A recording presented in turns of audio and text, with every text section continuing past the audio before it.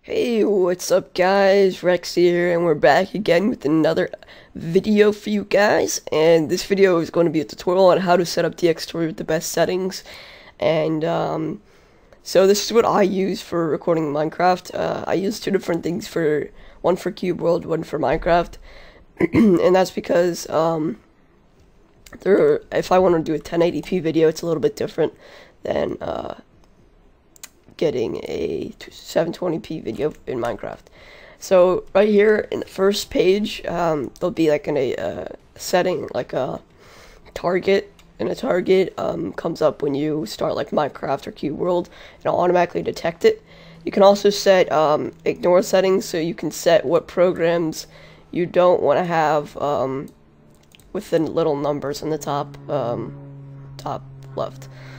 Um, here you can change what color your your uh, stuff is, and if you want this in your top top corner, if you want video FPS, if you if you do this, um, if you write file FPS, uh, it, will show like in like the the uh, files information section what uh, FPS it's recorded at, I think, um, and uh, yeah, it's these are just colors that I, I changed mine to red because it's more noticeable than orange. But yeah, all right. So one major thing to do before you uh, start recording is you go into your folder section and you click this little add folder button and um, you want to go to your desktop or wherever you made the folder. I have my own folder called recording and that's where I put all my recording files in there. And once here, I'll just add one in as a um, test. So add that in, and then click this benchmark button, then click run. And this will take a little bit, but it'll um, it'll test how fast your hard drive is. Um, yeah, so if you use like a recording, if you use like a different hard drive for recording, uh, set the folder to a folder in that in that hard drive.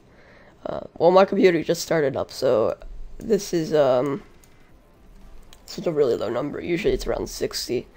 Um, that's what I have it 65 on my other thing. But yeah, and then you click OK, and I'm just gonna delete this because I don't need it.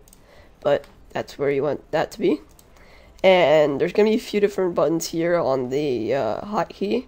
Uh, I only use uh, the capture, the F12, and K because I take screenshots in um, Cube World.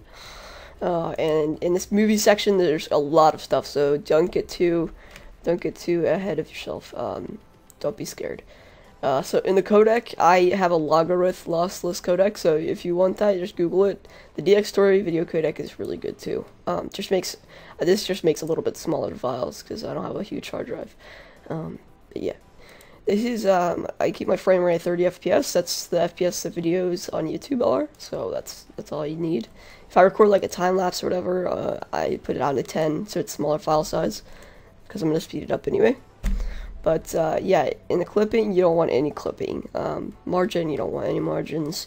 So um, this is a pretty important part. So um, depending on what your resolution of your computer is, uh, like your monitor, um, that's what you want this to be. If I mean, I have it scaled down to size because I usually I'm usually playing on full screen and it says F or it'll, it'll be full screen which if I record without the scaling it'll be 1920 by 1080 and that's good for Cube World but not good for Minecraft so yeah and so this is just my Minecraft settings. So I have it at 1280 by 720 that's the HD in uh yeah it's HD so um here I have uh, my settings. Um, so to find the uh, the best thing for the microphone, um, you want to right click on your speakers at the bottom right, and go to recording devices. You want to scroll down and right click on your your microphone that you're using. Go to properties and go to advanced. And in this default format, you want to pick the best quality. I have uh, I have um pretty good mic. This is this is a uh, Blue Yeti and it records at 48,000 hertz, which is pretty good. So once you have that selected, you want to go and add in your Minecraft, uh, your audio stream uh, of your microphone, and then you want to go to PCM, and then you want to scroll down until you see your setting. My setting selected here, so it's pretty simple.